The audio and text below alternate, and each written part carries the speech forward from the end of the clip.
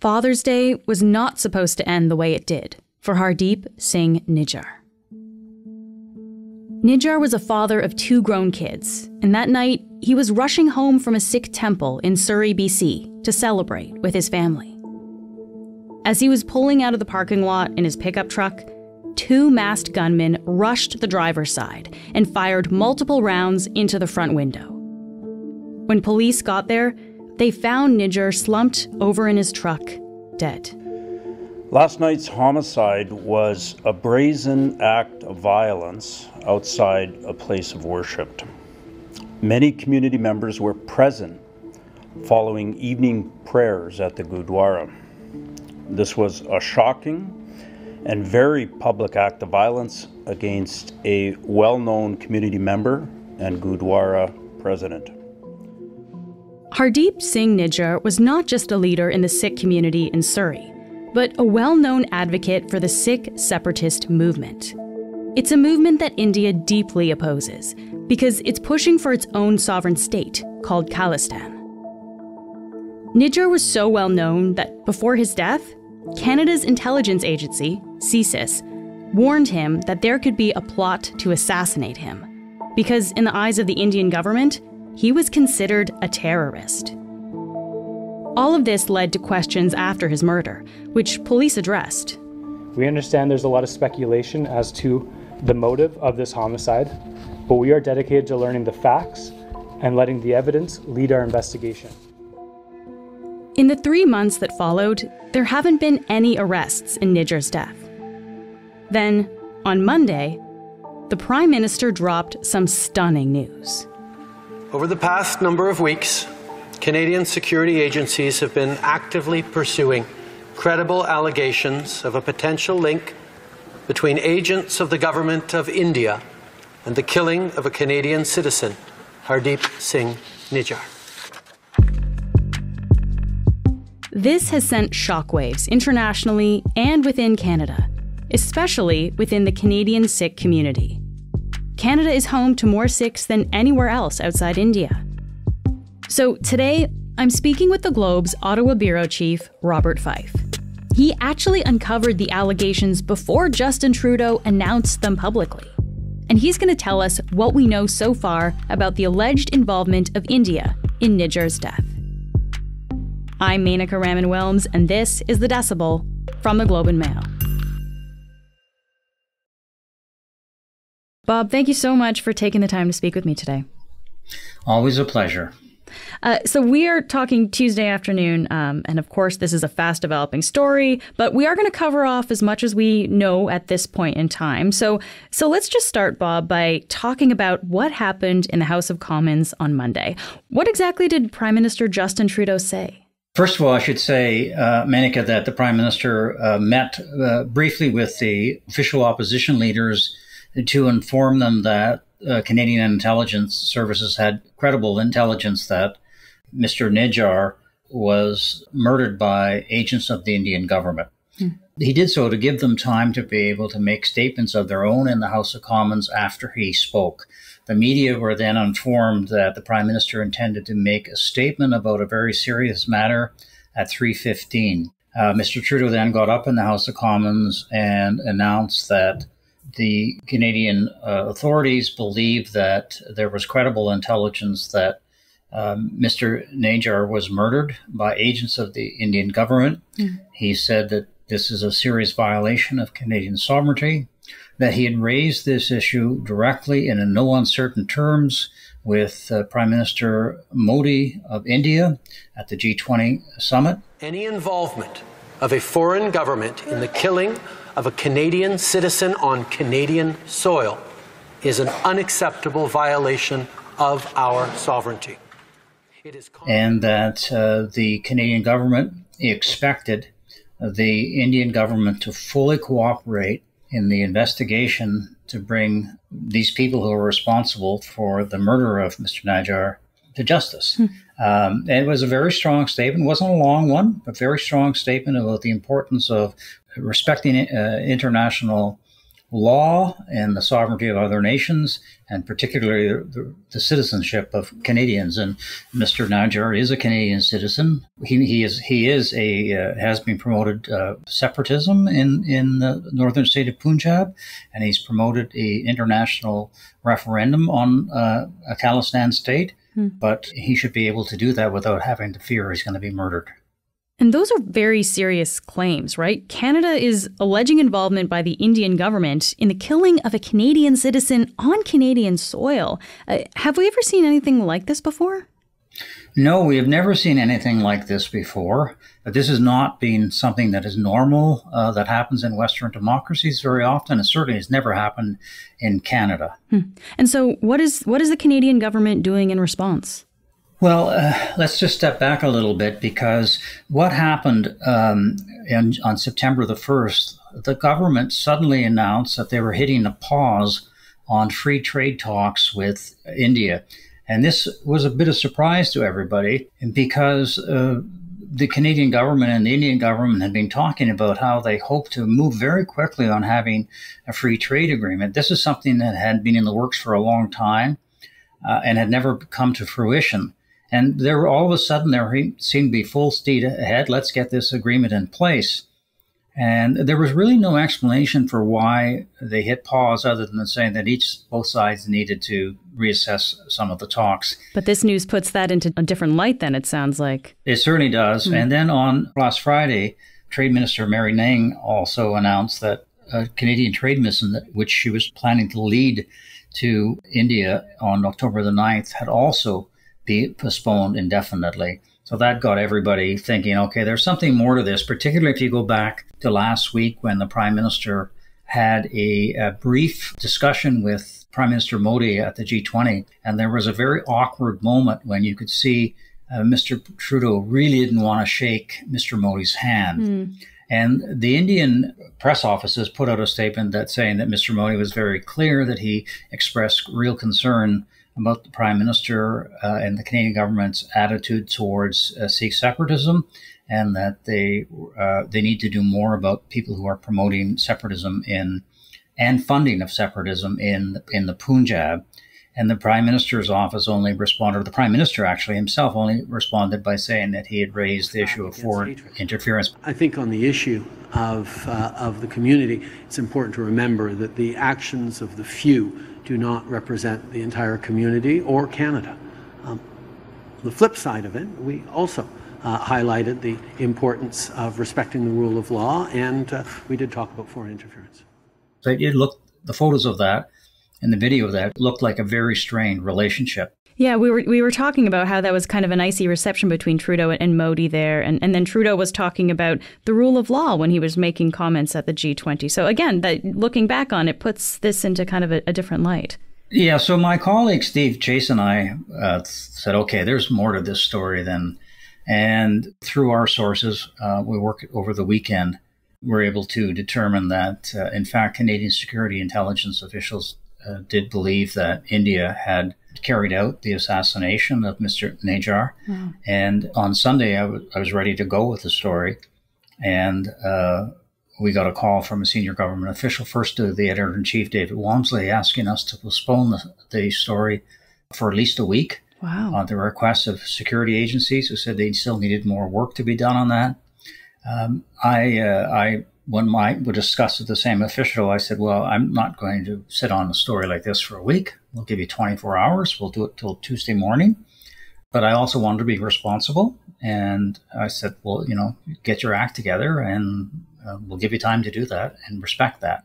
So this was on Sunday then, Bob. So y- you and, and Steve were, were looking into this issue over the weekend. We had it confirmed. Wow. We had it confirmed. We were ready to go with the story, and we agreed to wait um, to be responsible. To be honestly, to be responsible, because if there were reasons why um, security people needed a little extra time to inform Canada's allies and to give the law enforcement or whatever time to decide whether I don't know whether anyone was going to be arrested or not, but they they said they needed more time, so we we agreed to do so and then they kind of upstage us, by the way, uh, because they jumped the gun and they, they decided they wanted to do this at 3.15.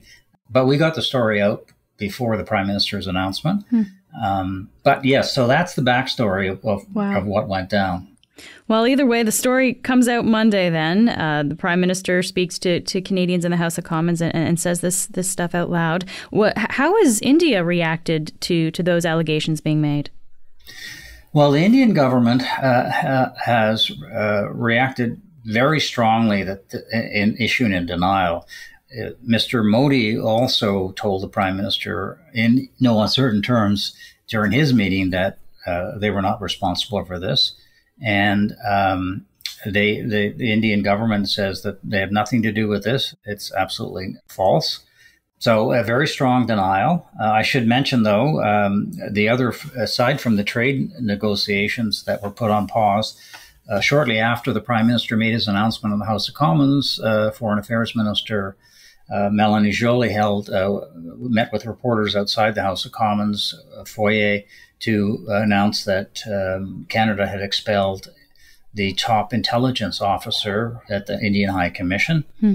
And uh, lo and behold, on Tuesday, India did a tit for tat response and has uh, given a, a, senior Canadian official at the High Commission in New Delhi five days to leave the country. But I don't think we're going to see a, a, an escalation. The Prime Minister uh, spoke with reporters before a cabinet meeting on Tuesday and said that uh, the government does not want to provoke India and does not want to escalate. We are not uh, looking to provoke or escalate. We are simply laying out the facts as uh, we understand them, and uh, we want to work with the government of India uh, to lay everything clear and to ensure. Uh, this is the world's largest parliamentary democracy. And although Mr. Modi has beginning to drift more to authoritarianism, he still is a democratic leader, and this is not the way uh, democracies uh, should should operate. Hmm, yeah. So India has said that, that Canada is too too soft, essentially, on terrorism. Uh, what does Canada say in response to that? Well, the Canadian government is saying, look, um, we believe in free speech. And, you know, as long as um, Sikhs advocating for Khalistan are not involved in unlawful activities, they have a right to do so. Look, we have Quebec separatists. They're in the House of Commons, for heaven's sakes. Mm. Um, you know, as long as they're not promoting violence or committing violent acts, they have every right to advocate whatever they wish to advocate. We'll be back in a minute.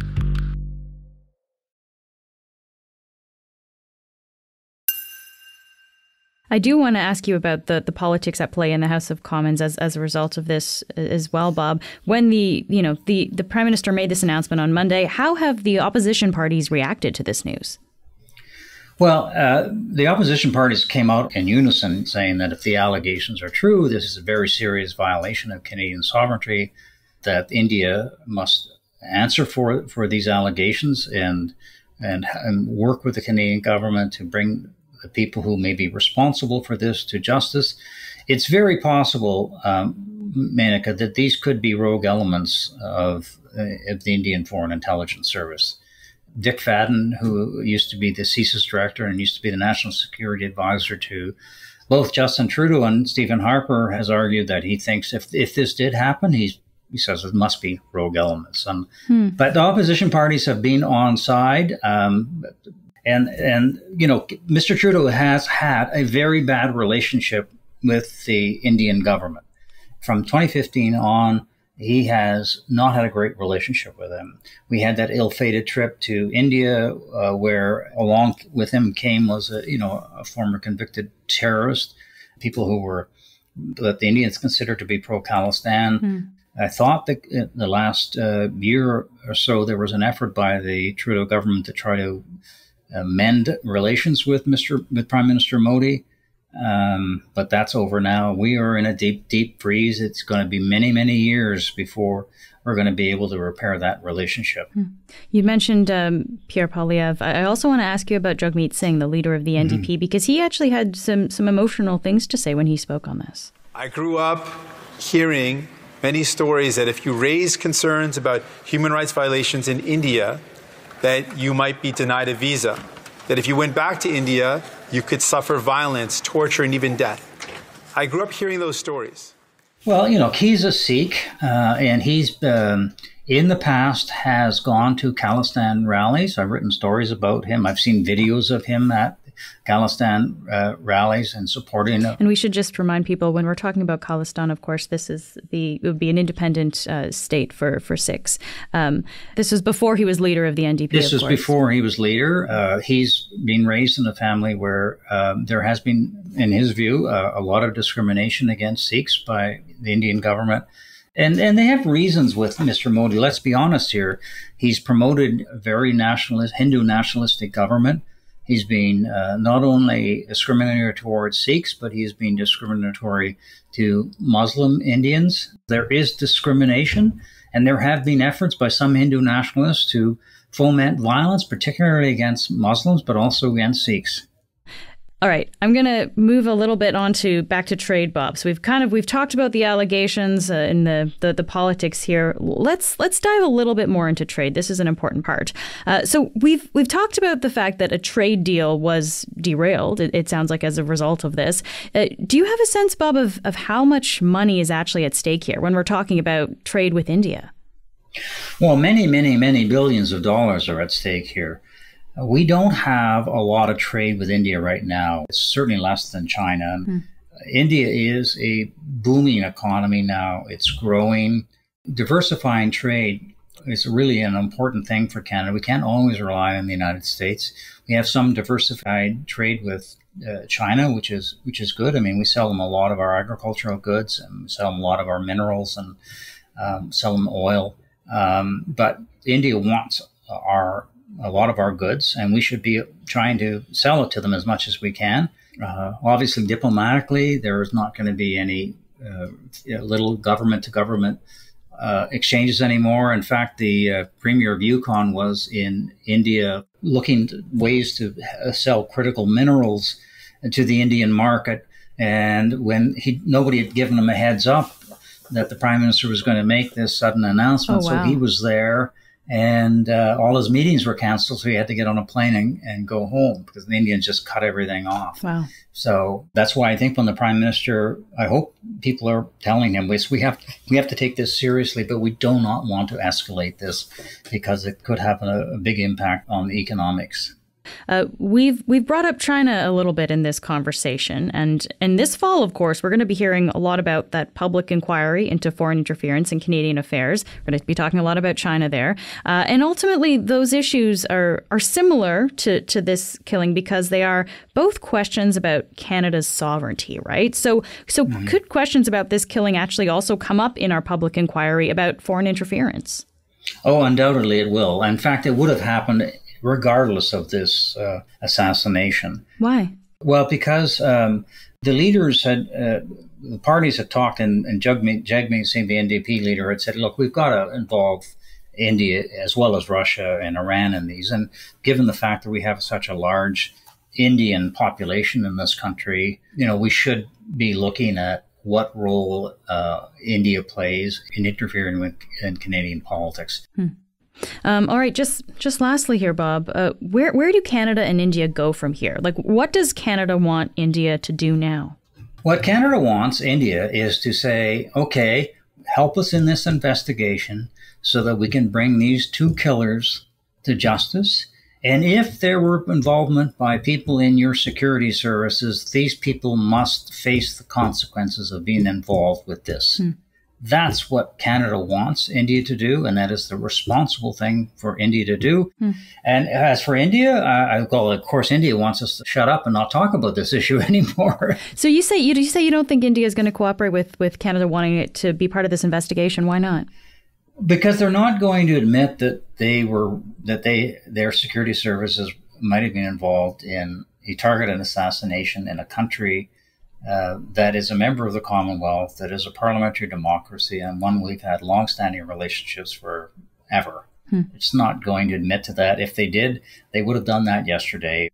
There have been discussions going on for several weeks with the Prime Minister's National Security Advisor, the CSIS Director, and other officials uh, with India, uh, trying to showing them intelligence, asking them to cooperate, and they've denied it all along the way. So I don't think that you're going to see them change their mind on this. They've they're dug in now. Hmm. Bob, thank you so much for taking the time to speak with me today to go through all of this. You're welcome. Thank you.